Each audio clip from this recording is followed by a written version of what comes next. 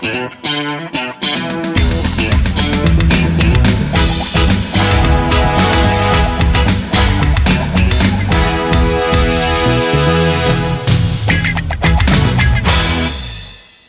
эфире телеканала «Самара ГИС» при своем мнении Инга Пенер. Здравствуйте.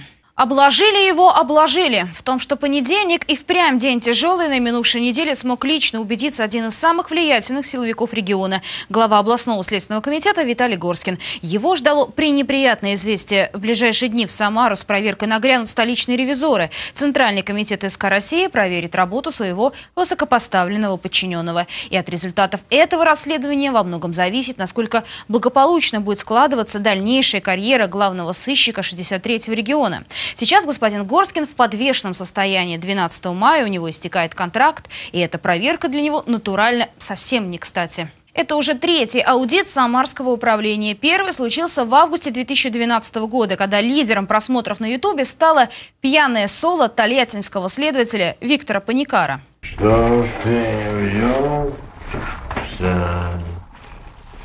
ты добышься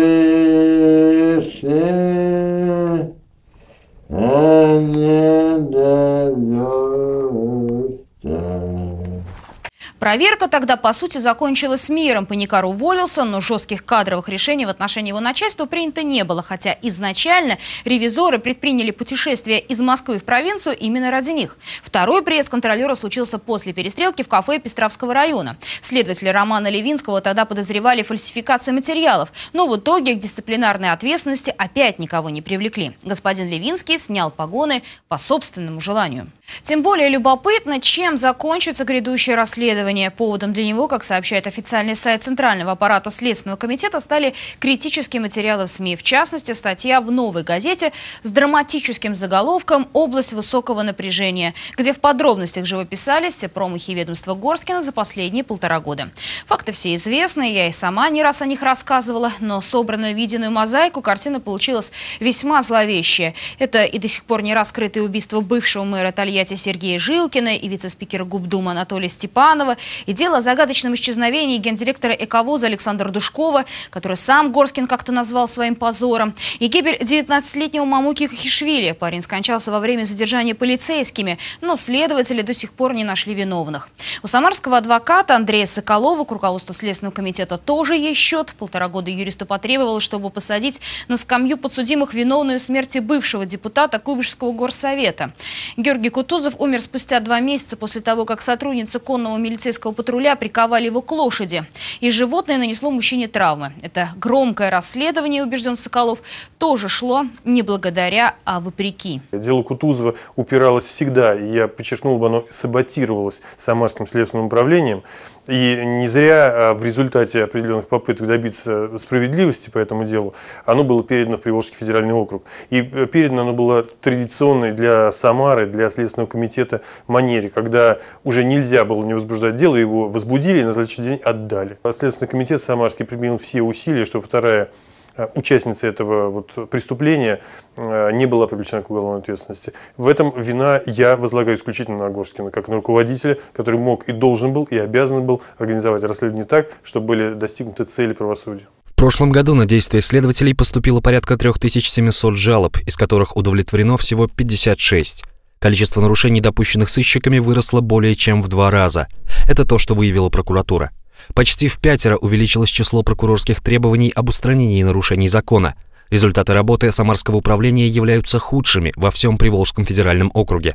Здесь меньше всего направленных в суд уголовных дел, зато больше прекращенных и приостановленных. Когда начальник э, такого органы разводят руками, извините, наш непрофессионализм, то надо гнать, гнать поганой метлой, либо уходить по собственному желанию просто-напросто. И еще один известный самарский адвокат Александр Паулов тоже с нетерпением ждет визита столичной комиссии. У него накопился внушительный список претензий. Самый свежий пример – уголовное дело депутата Самарской городской думы Сергея Богданова. Аккуратно неделю народному слуге повторно предъявили обвинение в причастности к манипуляциям, нанесшим Самарскому резервуарному заводу ущерб в размере 72 миллионов рублей. Вот обвинительное заключение в отношении Богданова, вот он только вчера я его получил. В отношении э, этих спецсубъектов, в том числе и меня, дела возбуждаются только лично господином Горскиным и утверждается, э, соответственно, постановление в качестве обвинения тоже лично.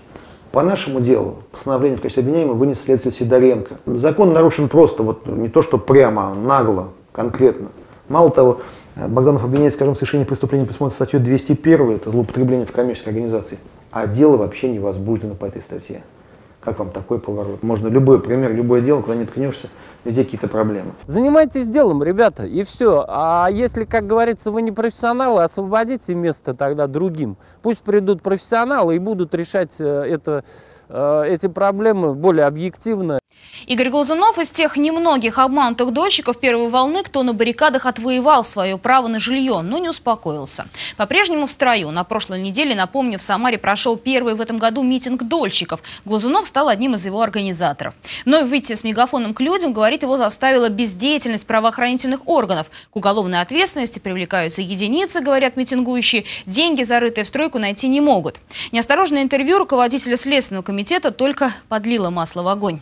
По одному из э, каналов самарского телевидения, значит, э, им было озвучено то, что э, как бы ему жалко возбуждать уголовные дела против людей, совершивших экономические преступления. А это, понимаете, и есть наши застройщики-мошенники. Вот, тогда возникает такой абсурд, да, ему их жалко, а нас, как он сказал даже в этом интервью, он сказал, нас э, вроде просят, мы возбуждаем уголовные дела. Но отсюда, и, мне кажется, и складывается тот факт, что э, кого хотят, э, кого надо, того и привлекают. Свои требования дольщики подробно расписали в резолюции митинга, опубликованной на неделе. В ней, в частности, они называют позицию, занятой главой Следственного комитета господином Горскиным, цитата, непрофессиональной. Насколько эта оценка совпадет с официальными выводами московских ревизоров, покажут в ближайшие дни. Эксперты не берутся предсказывать результаты. Если комиссия придет, как всегда, проверять, то она испортит жизнь недели на полторы-две, не больше поскольку отвлекает от работы, иногда заставляет идти в баню, иногда пить водку даже приходится.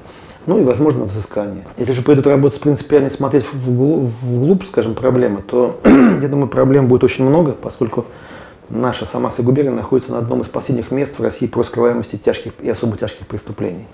А это как раз категория Следственного комитета. То, что у нас происходит в области, ситуация, конечно, жуткая абсолютно, она безобразная, я бы назвал ее. Пошли в банк Меж тем скандал вокруг долгостроя, который вот уже почти 7 лет безуспешно пытается возвести фирму «Горос», вышел на новый уровень.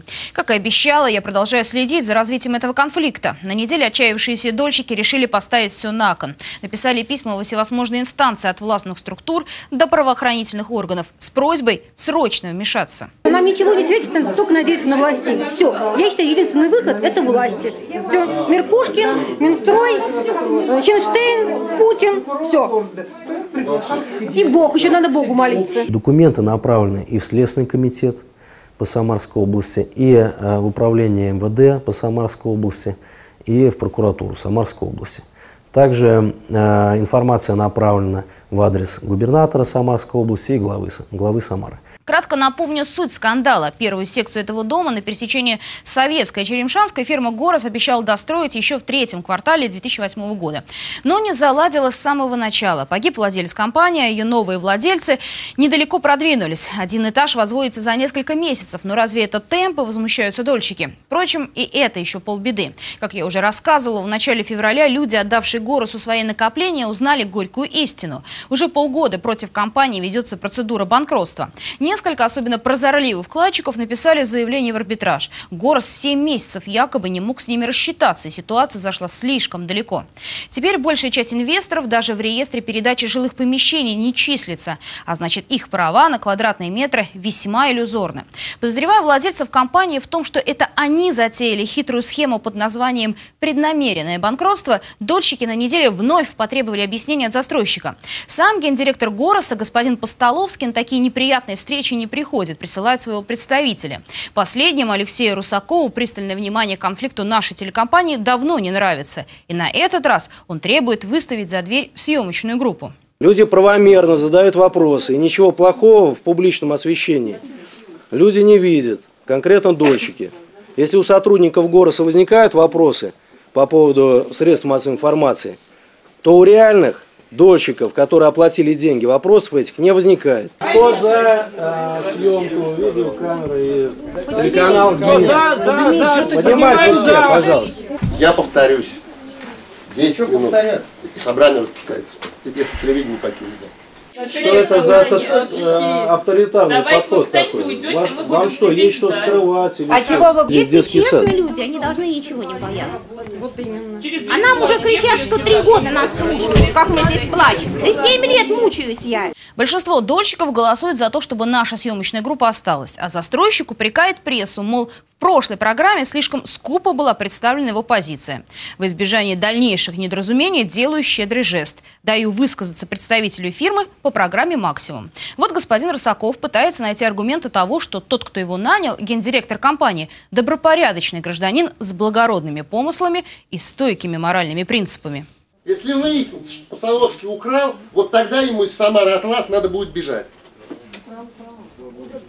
Нет, не Но пока этого нет, по, подождите, подождите, подождите, пока этого нет, пока этого нет, говорить о том, что он что-то украл, это по меньшей мере преждевременно. Но при этом оговаривается, не стоит верить ему, господину Русакову, на слово. Вы в корне заблуждаетесь, когда думаете, что я убеждаю здесь кого-то проявить доверие к городу. Мое субъективное мнение, что ни о каком доверии при таких просрочках речи быть не может. Я не занимаюсь убеждениями ни той, ни другой стороны.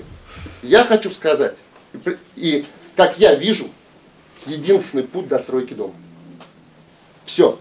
Он не связан ни с доверием, ни с недоверием. А вы строитель? Потому что я не строитель. Что ж, зато честно, но вот когда прозвучал сакраментальный вопрос, где деньги, нервы у представителя Гороса все-таки сдали. То есть ваш план продан, но меньше план построен, правильно я говорю? Да. Дольщикам же радоваться нечему. Стратегический план бизнесменов просто до неприличия. Для завершения строительства они хотят взять кредит в банке под залог несуществующих квартир на 250 миллионов рублей. Этих денег на достройку дома не хватит. Ну а разницу в 120 миллионов экономисты Гороса планируют покрыть продавая жилье. Непонятно, где эти люди готовы ринуться в столь рискованную авантюру. К тому же процедура банкротства против Гороса, если она дойдет до логического конца, для дольщиков будет равносильно финансовому самоубийству. Право на первоочередное получение денег, вырученных от продажи квартир, будет у банка. Затем вернуть средства, если они еще, конечно, останутся, смогут дольщики, чьи права подтверждены рекпалатой, кому удалось попасть в реестр. И только потом все остальные, заключившие договора инвестирования, таких большинство. Застройщик уверяет, не все так мрачно, банкротство можно избежать.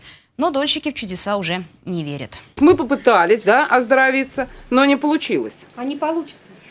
Это мы не будем сейчас говорить, что же будет дальше. Если всего вместе Горосу не хватит, то, по крайней мере, дом будет находиться как минимум на 90% стадии готовности. И вот тогда уже его можно будет спокойно банкротить, забирать в Минстрой его закончить. Итог двухчасовых дебатов люди подводят безжалостно и филологически точно. Тем временем, тем временем мы все равно в попе. И правильно вы говорите, дальше ничего не будет. Трудно не согласиться, учитывая, что представители Гороса, даже оказавшись загнанными в угол, по-прежнему не раскрывают всех финансовых тайн, категорически отказываясь показывать дольщикам свой бизнес-план. Действительно, зачем шокировать и без того отчаявшихся людей? Теперь в этой запутанной ситуации концы предстоит найти компетентным органам. На трех листах своего открытого письма дольщики расписали все свои сомнения. Например, непонятно, куда ушли почти 50 миллионов рублей. Деньги последним Гороса были перечислены подрядчикам, но работа не выполнена до конца. Соинвесторы задаются вопросом,